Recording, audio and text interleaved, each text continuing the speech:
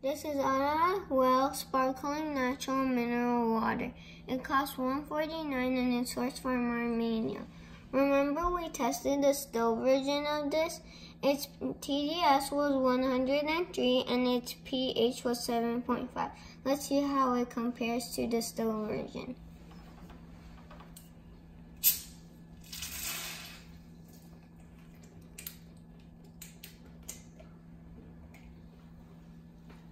Let's pour some water in.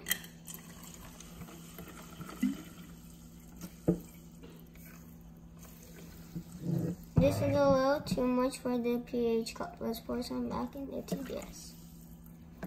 First, we're going to test the TDS level.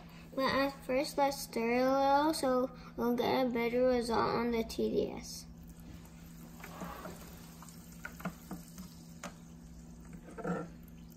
Turn on the TDS tester.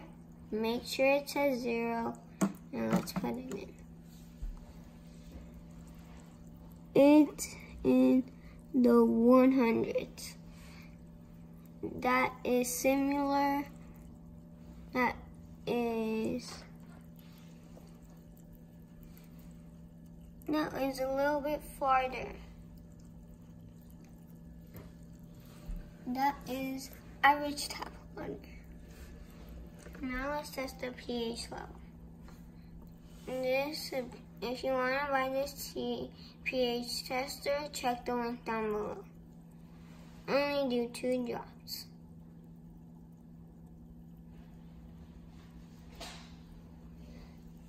Let's stir it a little so we'll get a better result. I'm gonna give this a 6.6. This is neutral pH.